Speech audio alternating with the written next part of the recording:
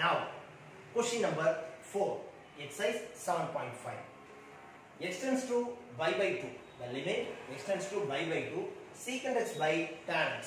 So இதுலேயே sir என்ன செய்ய போகிறது கிடையாது கேட்டால் லோபிகா ரூல் அப்ளை பண்ணாங்க ரேஷனல் மெத்தட்லேயே சால்வ் பண்ண போகிறோம் எப்படி ஃபர்ஸ்ட் எடுத்தோன்னே இந்த லிமிட்டை சப்ஸ்டியூட் பண்ணுறதுக்கு முன்னாடி இதை நம்ம சிம்பிளிஃபை பண்ணி வச்சுக்கலாம் ஏன்னா இது ட்ரிகனாமெட்ரிக்கல் ஃபங்க்ஷன் தான் ஸோ நம்ம சிம்பிளிஃபை பண்ணலாம் அப்போ என்ன வரும்னு கேட்டிங்கன்னா x tends to y by 2 secant x secant x நம்ம எப்படி எழுதலாம் 1 by cos x by tan x எப்படி எழுதலாம் sin x by cos x இது அப்படியே டினாமினேட்டருக்கு நியூமரேட்டருக்கு போச்சுன்னா x tends to y by 2 1 by cos x into cos x by sin x so இப்போ நம்ம இதுல என்ன செய்யலாம் கேட்டா இது ரெண்டையும் என்ன செய்யலாம் அப்படினா the 4 x tends to y by 2 1 by sin x அப்படி இப்ப என்ன? சார் லிமிட்டும் அப்ளை பண்ணல.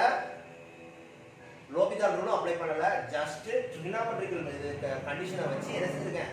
எக்ஸ்பேண்ட் பண்ணியிருக்கேன். என்னன்னு கிடைக்கி ஒன் பை சைன் எக்ஸ் இதில் நம்ம வேல்யூ அப்ளை பண்ணுறோம் x tends to pi by two sine pi by two எவ்வளவுன்னு கேட்டிங்கன்னா ஒன்று தப்போ the correct answer is one very very easy two மார்க்ல கேட்டாங்கன்னா இந்த ப்ராப்ளம் சால்வ் பண்றதா இருந்துச்சுன்னா நம்ம லோபிதா ரூல் அப்ளை பண்ண தேவையில்லை. ட்ரிக்னாமெட்ரிகள் இதை வச்சு ஒரு லிமிட்டை மட்டும் சப்ஸ்டியூட் பண்ணா போதும். ஓகேவா நெக்ஸ்ட்